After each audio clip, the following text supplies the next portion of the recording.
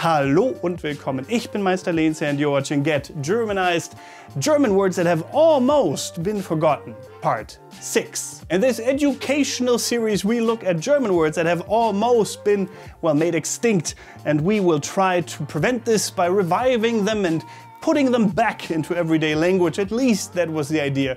Let us see if we can do it, and I would say let us get started right away. Lasst uns anfangen. I am bored. What should I do? Ah, ich weiß. First up, Beelzebub. If you know this word, maybe from a TikTok trend, well, no surprise, it comes from Germany. Beelzebub is the devil. In Old Testament, the term Beelzebub, there Beelzebul, is mentioned for the first time as a paraphrase for evil. Originally, this term, which comes from Hebrew, meant, well, Lord of the Flies or Lord of the Dunghill. Next up is die Lümmeltüte, a rather naughty word, die Lümmeltüte. Hmm, what could that mean?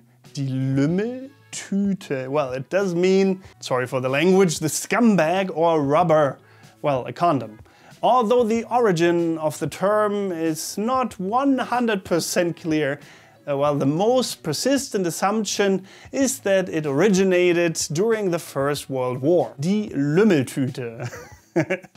Would you use that? Uh, do you maybe think in English it doesn't matter, even if it's naughty, because no one understands it, so might you use Lümmeltüte now instead of condom? Let me know in the comments below. Next up is a rather stunning uh, hairstyle. Der Vokuhila, the mullet, shorthand for describing a particular hairstyle. Vorne kurz, hinten lang. Short in the front, long in the back. The mullet or der Vokuhila is an acronym of the hairstyle so popular in the 80s in which the main hair was short and, well, cut in a hedgehog shape while the neck hair reached the shoulder.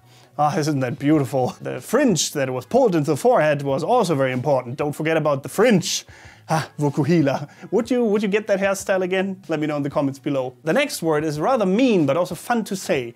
Die Wuchtbrumme means full figure. The word Wuchtbrumme was created in the 60s from the composition of Wucht, which means force, and Brumme, from Brummen, aka buzzing. The latter being another word for bumblebee, for example. Die Wuchtbrumme. Uh, rather mean, but fun. The next term is Vatermörder. Der Vatermörder sounds rather grueling. The father murderer, basically, or murderer. The Vatermörder was a stand-up collar in the 19th century which was placed under a neckband and provided the typical masculine appearance. Der Vatermörder. Who came up with that and why? I don't get it. Next up is die Junior-Tüte the junior bag. You might remember this if you have lived through, well, sometimes between the 80s and 2000s in Germany, maybe even longer than that. Die Junior-Tüte, uh, the junior bag, is of course the children's menu from a well-known fast food chain with a golden M in its name. Admittedly, Junior-Tüte is not exactly an example for a sophisticated word culture, but nevertheless, it is in fact a word that shaped a certain generation and has, well, since disappeared altogether, almost at least. Our next word in the list is der Blaustrumpf, the blue stocking. A derogatory term for women in the 19th century who were considered, well, unfeminine because of their, let's say, education and attitudes. Der Blaustrumpf. Personally, I've never heard or used this word before. Well, at least not before this video and before I did my research. But anyway, der Blaustrumpf. Next up is another one of those, der Heiermann. Der Heiermann. The five mark piece. The word Heiermann, which was particularly well known in northern Germany, this is actually where I am, so I don't know why I don't know this. Well, this was the common name for the five mark piece. I remember using a five mark piece for a Coca-Cola machine, particularly a five mark piece. That was quite expensive, I thought, at least when I was young der Heiermann. Next up, another favorite of mine, uh, Klimbim. Klimbim. Fun to say, and it means clutter, so useless stuff. The origin and development of the term Klimbim unfortunately cannot be traced exactly. What is certain, however, is that it was kind of a buzzword of the 70s, Klimbim, so popular at the time that a television program was even named after it. And next on Klimbim, look at Joey's pants. Whoa! The next word is der feine Pinkel, the fine pea, or, or well, almost. A, term for someone who thinks that he is something better, or she is something better, or they are something better. The fine P originated in Berlin toward the end of the 19th century. At that time, it meant members of the upper social class who appeared arrogant and unpleasant to the ordinary citizen. Der feine Pinkel. Well, uh, might be because of their behavior, who knows?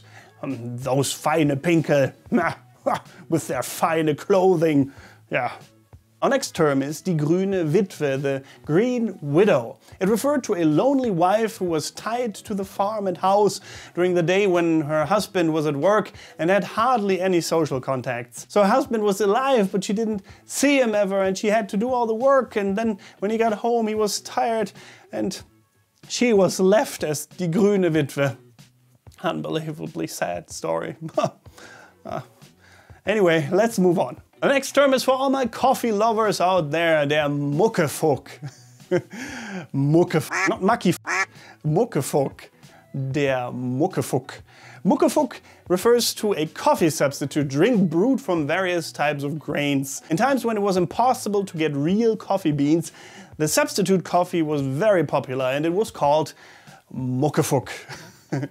ah, Muckefuck. I, I love me normal coffee, but I love me Muckefuck as well. Here's a free bonus word for you, by the way, if you haven't expected it. Well, here it is. Der Zornbinkel or Zorngickel. Easily angered and shouting person, in most cases a small child. The Zornbinkel was mainly known in Austria and Bavaria, where he was a mischief maker. In Hessian, one speaks of the Zorngickel. Ah, Zorngickel. Did you know this word? And would you use any of these words in this video uh, in real life? Let me know in the comments below which one was your favorite. And don't forget to leave a like and subscribe if you haven't yet. Activate the bell if you want, so you would never, ever, hopefully at least, miss another video of mine. I publish new videos every Saturday evening at 6 p.m. Germany time. And I would say apart from that, thank you very much for watching. Don't forget to get Germanized. Goodbye and auf Wiedersehen.